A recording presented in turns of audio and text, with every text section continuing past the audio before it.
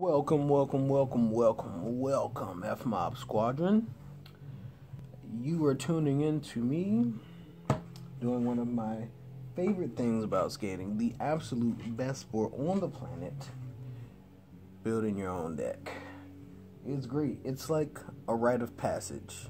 You know, yeah, when you start off, you just buy them, you know, complete, pre made, whatever but eventually you get kind of particular and you want certain stuff. So you know you got to build your own. Plus it's just it's kind of relaxing in a way you know? You build it you make it look all pretty and you go out and destroy it because that's what you got to do. So this is what i got so far. I just gripped it and that's done. I'm gonna put the uh, trucks wheels bearings and the hardware on and then I'll let you guys see what it looks like when I'm finished. Squall!